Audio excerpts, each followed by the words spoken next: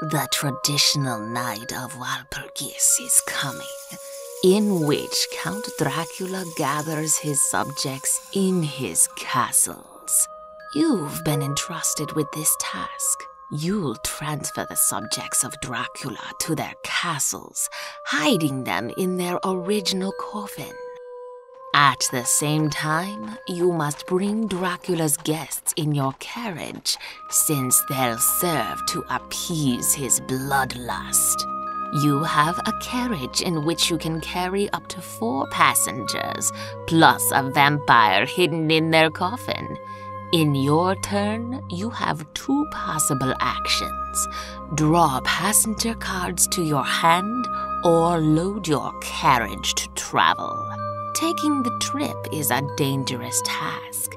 Each time you cross the roads that lead from one city to another, you'll draw a danger card. Accidents, werewolves, and wild neophytes will be lurking. Fortunately, you'll be able to avoid the dangers if you get adequate protection. Prepare your trip with caution.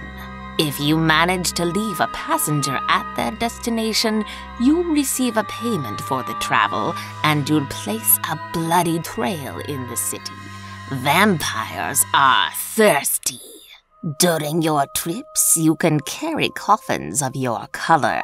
Try to leave them in the castles where they can be better fed. Bring them enough victims. Also, beware of the werewolves. They tend to steal the food from the vampires while these are resting.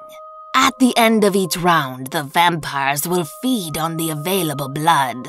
Make sure your vampires are placed in the best positions and get the best score. Dracula is a game for two to four players and with a duration about 60 minutes. Don't miss the Kickstarter campaign with all the exclusive extras.